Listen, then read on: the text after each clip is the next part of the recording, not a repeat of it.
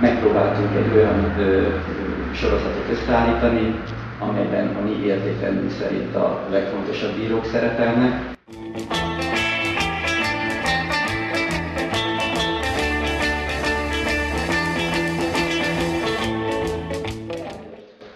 Még nem szerzett tudomást a támadásról. Majd én elmondom nekik. Szávul-e halkan felnevetett. Jaj nem, az nem lenne becsületes, mondta. Szerelemben és háborúban minden szabad. És ez mindkettő. Thank you.